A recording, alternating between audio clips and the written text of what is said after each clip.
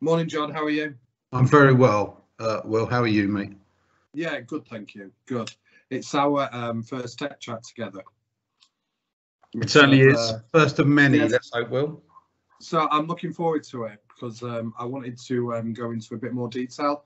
Go maybe go over to the dark side, learn a bit more about impositioning.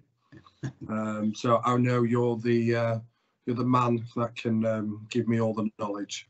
Yeah. Are you sure you want to come in, Will? The water's Well- choppy in the world of impositioning. I hear it can be warm.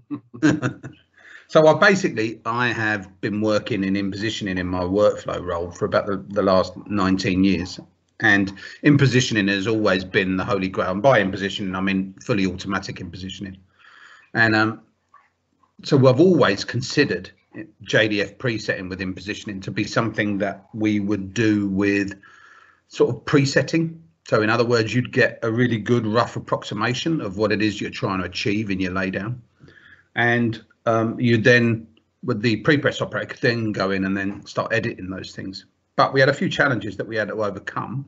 And we've now got a sort of suite of products and modules and scripts and bits and bobs that we can put in place now that can actually change that from being a presetting workflow to actually being full automatic impositioning. And we actually have a number of customers now that for bound work in particular, they've now created layout profiles for everything.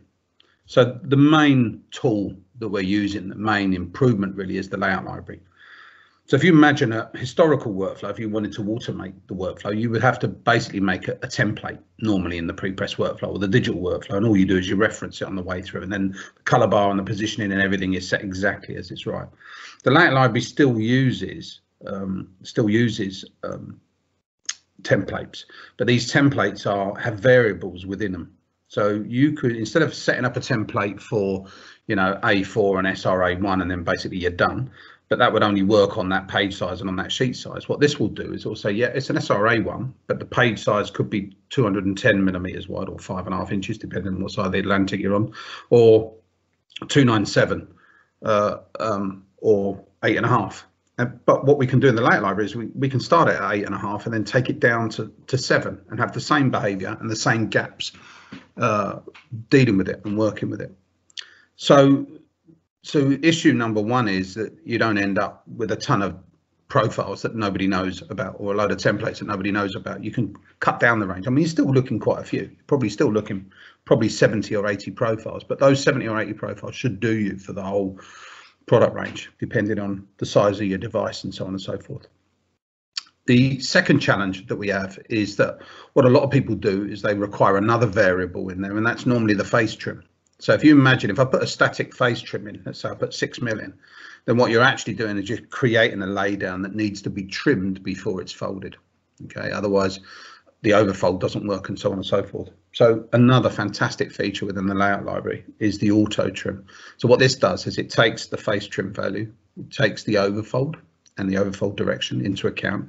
And then basically whatever's left on that sheet of paper is what it sets the face trim to, which means then you can end up with 16s, 8s, 4s and so on and so forth jobs um, uh, creating uh, lots of different laydowns, you know, lots of lots of lots of um, lots of laydowns and lots of results that don't need to be edited or changed or trimmed before they get uh, folded. And then finally, and it was a big challenge, was that we had an issue with uh, color bar locations. So some pre-press products have got auto locating color bars. So Pronector's got a very good one. Basically, it looks starts in its starting position. If there's not a gap there for a color bar, it wanders up the sheet or down the sheet, whatever your preference is, looking for a hole that's big enough. And then when it finds one, it just shoves it in. So that's great. That really helps you out. Agfa's and has got a pretty good function where you can create templates. So when something's this sheet size and something this page size or between these page sizes, that it picks a particular mark and a template. Not quite as sophisticated as the Prinect ones, but still pretty good. And then other workflows just don't don't embrace those things at all. So what we've done is that in our layout library, we are able to, to put a tag or a name specifically uh, within the name of that profile that identifies whether the color bar is at the grip in the middle or at the back edge. And then when we deliver the JDF in to the workflow using whatever mechanism works best, we either pick the donor template or pick the appropriate marks um, set using this private tag, this either front, middle or back or wherever you've got it set. So we now have about seven, eight, nine customers out there now that basically for all of their bound work using these three tools, okay, are automating um, their laydowns. Could I just check? Would the material have an impact on the laydown? It would. Good question. Well, it's not like I asked you to write it down earlier on or anything. yeah, it's a good.